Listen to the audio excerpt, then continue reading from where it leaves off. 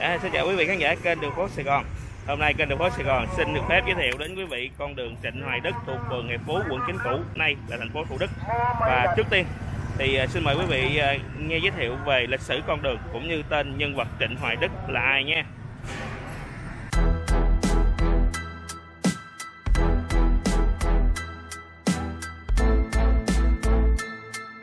Đường Trịnh Hoài Đức vị trí từ đường Ngô Quyền đến đường Nhân Chủ thuộc phường Hiệp Phú, quận Chính Cũ, nay là thành phố Thủ Đức. Đường dài khoảng 300m, lộ giới 30m. Lịch sử đường Trịnh Hoài Đức được đặt tên và có cùng lúc với việc xây dựng khu cư xá kiến thiết trước năm 1975 và tên gọi ấy vẫn được giữ cho đến ngày nay là năm 2021.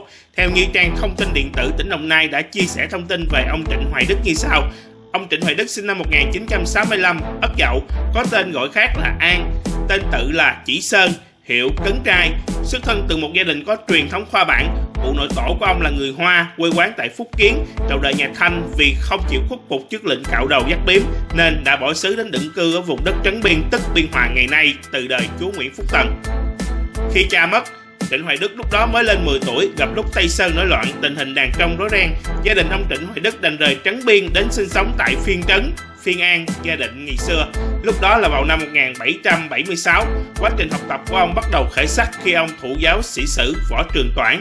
Đây là bậc tiên sinh, bậc tham nho nổi tiếng đương thời ở thôn Hòa Hưng, huyện Bình Dương, tức Phiên Trấn. Nhưng chẳng bao lâu, bệnh cũ tái phát mỗi ngày thêm trầm trọng. Đến tháng 3 năm Ất Dậu tức năm 1825 thì ông mất tại Huế, hưởng thọ 61 tuổi.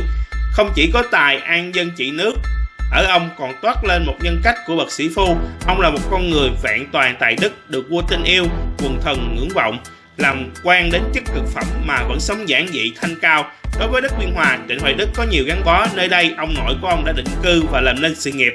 Cha ông được sinh ra, lớn lên, rồi cưới người con gái Đồng Nai làm vợ. Ông mở mắt chào đời và sống những ngày đầu thời niên thiếu chứng trên mảnh đất này.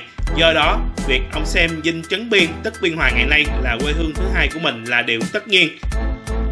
Ngoài khuôn khổ chính trị, quân sự, kinh tế xã hội ra, Trịnh Hoài Đức còn là một nhà thơ, nhà văn, nhà sử gia có tài, là tác giả tiêu biểu ở thế kỷ thứ 19 ở miền Nam. Những tác phẩm của ông để lại cho đến nay vẫn còn giá trị rất lớn về mặt văn học như Gia định thành thông chí, Cấn trai thi tập, cùng với Lê Quang Định và Ngô Nhân Tịnh sáng tác Gia định Tam gia thời bấy giờ, Tựa và Bạc của Trịnh Hoài Đức và ba người đồng triều là Nguyễn Dịch Cát, Nguyễn Thời Vị và Cao Huy Du. Có thể nói sự nghiệp văn chương của Trịnh Hoài Đức đã đóng góp nhiều tài liệu quý giá trong kho tàng văn học và sử học nước nhà. Tuy nhiên, điều đáng tiếc là sau một thời gian ngót đi 200 năm các bộ sách trên hoặc bị thất lạc hoặc bị ngọn lửa của chiến tranh tiêu hủy, chỉ còn sót lại bộ Cấn trai thi tập và Gia định thành thông chí.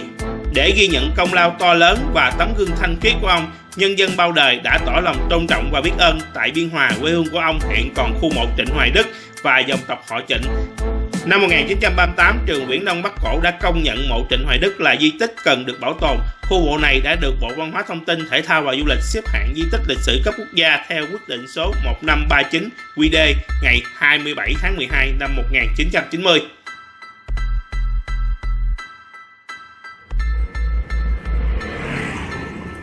Đây là khu vực mà ngã ba đường ờ, Ngô Quyền và đường ờ, Trịnh Hoài Đức.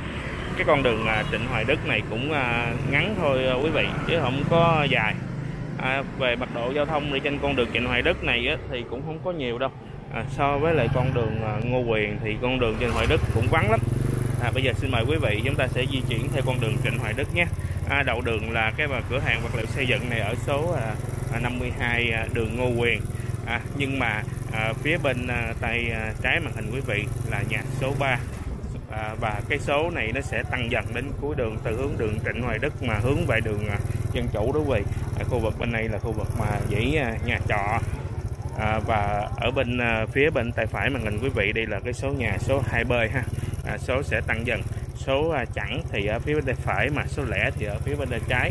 Còn à, hướng mặt trời thì bây giờ là khoảng tầm mà 9 10 giờ sáng thì à, hướng mặt trời thì à, phía bên à, trái. À, chiếu sang phía bên à, phải màn hình của à, quý vị đây.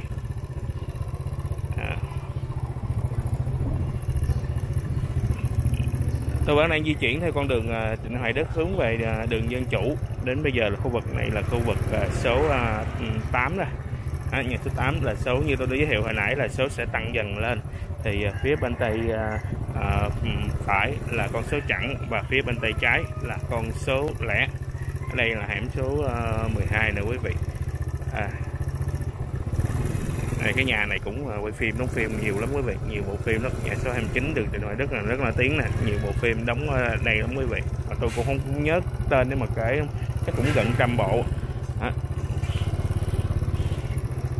À, qua vực khu vực cái cua này là cái khu vực mà công ty ờ, bột giặt vi sâu cũ đó. Thập niên 90 à, thì công ty à, bột giặt Viso thì nổi tiếng ở cái, cái cái khu vực này. Và sau thời gian thì năm 2000 trở lại đi á, thì à, cái nhà máy bột giặt Viso này đã đã dời đi quý vị.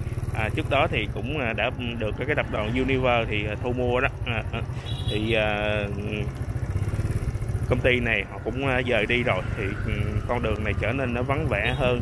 Và cái khu vực mà nhà xưởng à, của công ty bột giặt Viso này á, thì à, à, họ cũng đã à, sang bằng hết rồi. Bây giờ chỉ là một cái bãi à, đất trống à, để mà buôn bán cây kiển mà thôi. À, đây đường này cũng vắng nữa vì ha à, đó trước mặt quý vị là con đường à, à dân chủ à, cắt ngang rồi. Thì tới khu vực ừ, à, cái cái hẻm đó nữa là là hết con đường à, Trịnh Hoài Đức à. con đường này rất là ngắn nó thuộc phường à, Hiệp Phú à, quận chính cũ nay là thành phố à, Thủ Đức. Và cái số nhà bên phía bên tay phải tôi là số nhà số 60 và phía bên tay trái là cái số nhà số à, 65 đây, đây là cái khu vực mà công ty bột giặt Viso cũ nè quý vị.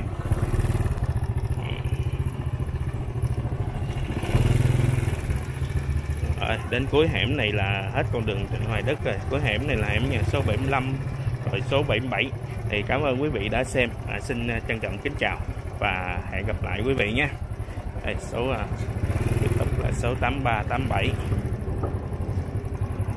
89 91 Trịnh Hoài Đức. À, tôi đi thêm một đoạn nữa bởi vì giao khúc cuối này là giao với lại con đường à, tự do. Ở đây là cuối hẻm là ở khu nhà trọ rồi nếu mà quẹo tay phải nữa là vào cái đường à, tự do rồi đây vẫn thuộc khu phố 1 phường phố quận 9 rồi xin trân trọng kính chào hẹn gặp lại tôi là Minh Nhân kênh đường phố Sài Gòn chào tạm biệt quý vị khán giả nha Bây giờ tôi lại rong ruổi khắp mọi ngã đường Sài Gòn tìm những điều thú vị để ghi hình và lại được hầu chuyện cùng mọi người. Nhớ đừng quên đăng ký kênh và nhấn vào chiếc chuông để có thể xem được những đoạn phim mới nhất từ kênh Đường phố Sài Gòn nhé. Cảm ơn quý vị. Xin chào và hẹn gặp lại.